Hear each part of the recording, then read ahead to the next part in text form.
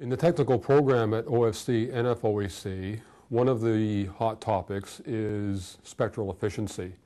This is being looked at in terms of multi-level modulation formats, coherent systems, the signal processing algorithms that are needed for such systems, as well as device technology, and in particular, the development of photonic integrated circuits for coherent systems.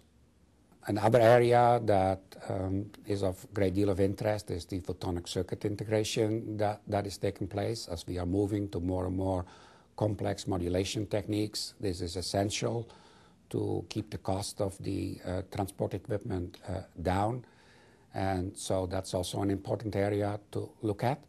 It's tied into the um, expanding use of 100 gig that we are looking at. I expect that we will see uh, very shortly applications of that, commercial use of 100G in, in the carriers' networks. And so this is another in, uh, very interesting area that I think people should pay attention to.